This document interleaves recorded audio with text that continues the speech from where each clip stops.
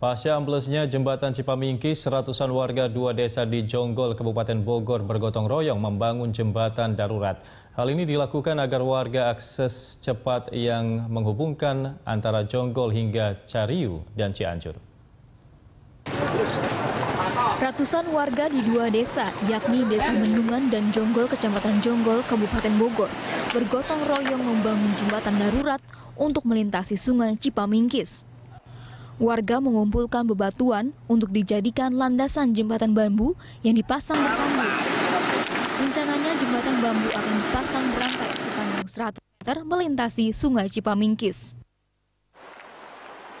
Ya, pasca amblasnya jembatan Cipamingkis Jumat malam yang lalu, tentu kami berupaya keras bagaimana warga masyarakat kami yang di seberang sana ada lima desa bisa melanjutkan aktivitasnya ke arah Jonggol.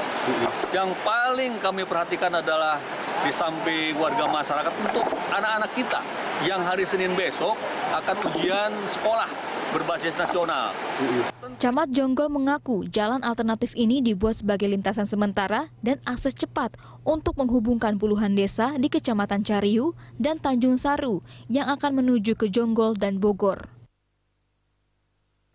Pantauan udara dari atas Sungai Cipamingkis, Desa Jonggol, Kecamatan Jonggol, Kabupaten Bogor, Jawa Barat, longsor akibat abrasi Sungai Cipamingkis menimbulkan kerusakan pada jembatan Cipamingkis yang menghubungkan antara kawasan Cibubur, Jonggol, dan Cianjur.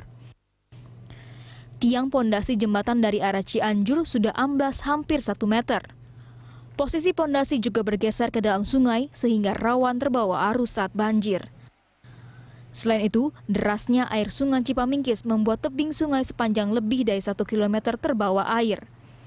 Akibatnya, lahan persawahan di sekitar kali Cipamingkis kini terancam luapan air.